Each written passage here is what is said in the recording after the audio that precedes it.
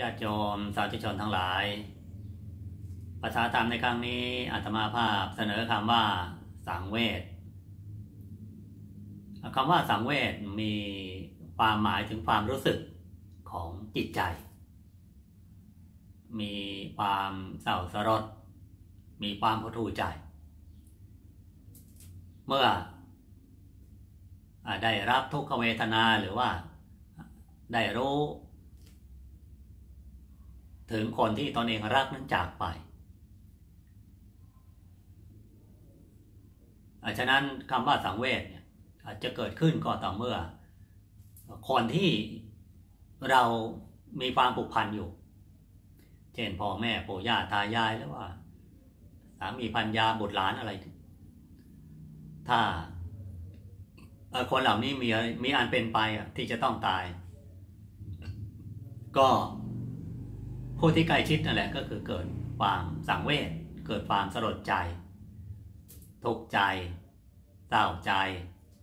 ในการจากไปคำว่าสังเวชถ้าในอีกความหมายหนึ่งก็คือหมายถึงว่าความรู้สึกที่มาเตือนใจให้ระลึกนึกถึง ให้คิดถึงความดี ของผู้ที่ตอนเองเคารพนับถือ ก็จะมีมีความสบายใจเกิดขึ้น เกิดความไม่ประมาท เกิดความดีเกิดอยากจะทำประโยชน์ ให้กับคนที่ตนเองระลึกนึกถึงคือคนที่จากไปฉะนั้นคำว่าสังเวชเนี่ยก็จะมีอยู่ว่า ถ้าคนที่เรารักเราเคารพจากไป ก็จะเกิดความสลดโทโทสังเวชใจ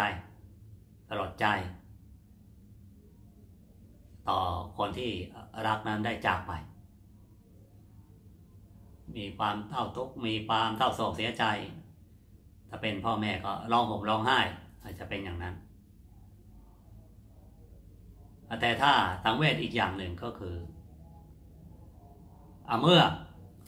ผู้ที่เราเคารพนับถือจากไป เราก็ระลึกนึกถึงความดี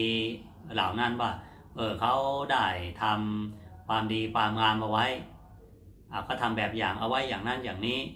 ก็เมื่อระลึกได้อย่างนั้น ก็ทำตาม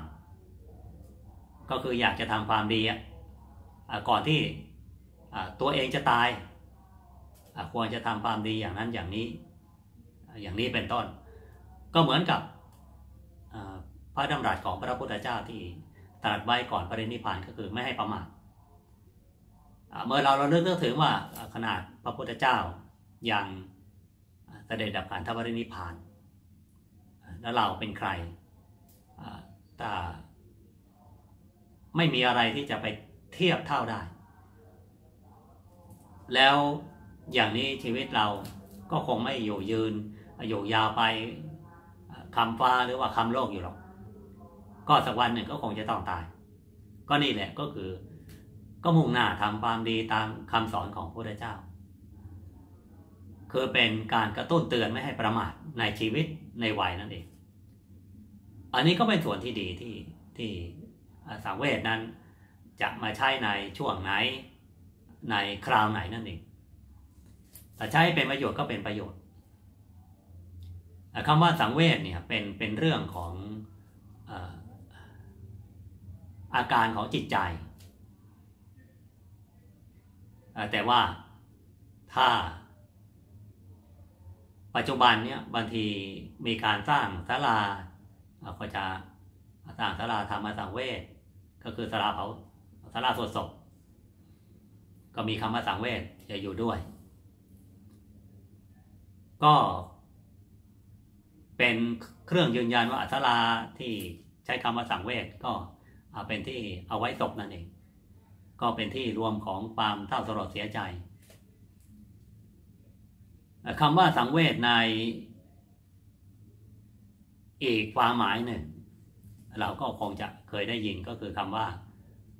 สังเวชนียสถานคำคำนี้ก็คือเป็นสถานที่ที่พระพุทธเจ้าประสูติตรัสรู้ปรินิพพานนั่นเองญาติโยมสาธุชนทั้งหลายภาษาธรรมในครั้งนี้ธรรมาภาพของอวยพรให้ญาติโยม สาธุชนทั้งหลายจะมีความสุขมีความเจริญในทั่วหน้ากันเทินเจริญพร